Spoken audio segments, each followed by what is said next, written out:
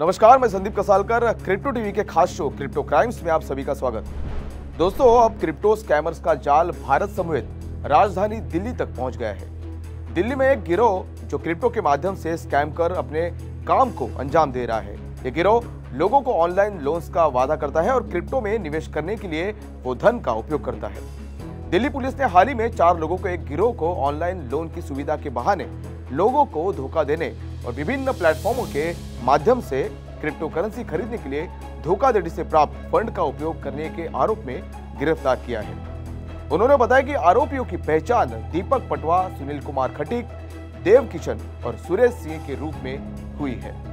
Police के अनुसार इस मामले की शिकायत पीड़ितों में से एक ने की थी। जिसने अपनी शिकायत में आरोप लगाया था कि उसे अपने फ़ोन पर एक टेक्स्ट संदेश प्राप्त हुआ था, जिसमें लिखा था light your applied loan is approved you can choose loan limit range from rupees to lakh please log in to app मतलब आपका लोन अप्रूव हो चुका है। आप दो लाख रुपए तक की लोन लिमिट चुन सकते हैं और उसे प्राप्त करने के लिए इस लिंक पर क्लिक करें।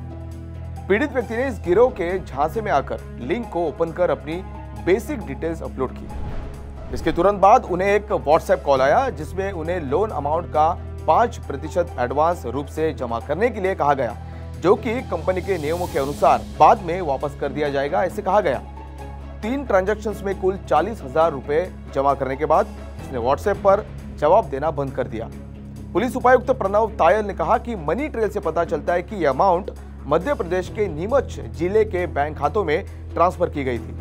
आगे ये भी पता चला कि दो दिनों के भीतर कथित खाते में पचहत्तर लाख रुपए से अधिक ट्रांसफ़र कर दिए गए थे और उस पैसों का उपयोग करके विभिन्न प्लेटफॉर्मों पर क्रिप्टो करेंसी खरीदी जा रही थी। उन्होंने कहा कि इस अपराध में कुछ सस्पेक्ट्स को चिन्हित किया गया और उन पर तकनीकी निगरानी की गई। इसके बाद वे राजस्थान के चित्तौड़गढ़ से सक्रिय पाए गए। फिर उसके बाद चित्तौड़गढ़ में छापेमारी की गई और तकनीकी विश्लेषण के साथ ह्यूमन इंटेलिजेंस के आधार पर चारों आरोपियों को आखिरकार गिरफ़्तार कर लिया गया। पूछताछ के दौरान आरोपियों ने खुलासा किया कि उन्हें यूट्यूब के ज़रिए इस तरह की धोखाधड़ी का विचार आया था।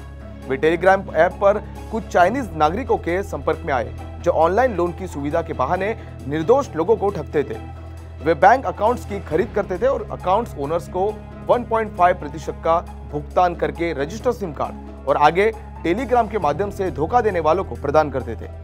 गहरी जाँच से पता चला कि आरोपी ने यूपीआई के माध्यम से अलग अलग बैंक खातों में ठगी का पैसा प्राप्त किया और फिर बाइनांस क्रिप्टो एक्सचेंज पर उस पैसे से यूएसडीटी खरीद कर इसे क्रिप्टो करेंसी में बदल दिया। अधिकारी ने कहा कि आरोपी दीपक पटवा को यूएसडीटी में कमीशन मिलता था और बाद में हवाला के ज़रिए अपने खातों में उसे रिडीम करता था। अधिकारी ने यह भी कहा कि यह भी पता चला है कि कथित व्हाट्सएप नंबर का आईपी एड्रेस चाइना का था। उस नंबर से संवाद करने के लिए दीपक चाइनीज़ भाषा में प्राप्त संदेश का हिंदी में अनुवाद गूगल ट्रांसलेटर की मदद से करता था। अपराध में इस्तेमाल किए गए 15 डेबिट कार्ड, सात मोबाइल फ़ोन और 27 सिम कार्ड के साथ डोंगल, लैपटॉप, टैबलेट और बीस हज़ार रुपए का अन्य सामान बरामद किया गया है। पुलिस ने कहा कि मामले की जाँच जारी है और पीड़ितों की पहचान की जा रही है। तो दोस्तों, दुनिया में जितने प्रकार की क्रिप्टो करेंसीज है, उतने प्रकार के क्रिप्टो क्राइम्स और स्कैम्स हो रहे हैं। और दुर्भाग्य से आगे भी होते रहेंगे। कहते हैं ना prevention is better than cure ऐसे स्कैमस्टर्स को तो पकड़कर सख्त सख्त सजा देनी चाहिए। लेकिन बेहतर तो ये होगा कि ऐसे स्कैमस्टर्स के जाल में कोई भी विक्टिम ना फंसे। और ये बिल्कुल मुमकिन है। इसे आप और हम मिलकर पॉसिबल बना सकते हैं। इस डेली ऑनलाइन लोन स्कैम के सारे विक्टिम इस स्कैम से बच सकते थे। अगर वो फॉरवर्डेड मैसेज में आई लिंक पर क्लिक करके फेक लोन पाने के झांसे में न आते तो। मैंने क्रिप्टो क्राइम्स के कई एपिसोड्स में कई बार कहा है और आज भी दोहराऊँगा कि no matter what forwarded messages WhatsApps emails Telegram या किसी भी सोशल मीडिया ग्रुप में आई हुई लिंक्स पर क्लिक ना करें। आपके क्लिक करने से कोई शातिर हैकर आपका अकाउंट ज़ीरो कर सकता है या फिर इस केस की तरह आपको फेक लोन देने के प्रलोभन में फंसाकर आपसे पैसे निकलवा सकता है। अगर आप भी अपने ऑनलाइन बिहेवियर में, जैसे मैंने कहा, वैसे थोड़ी सावधानी बरते।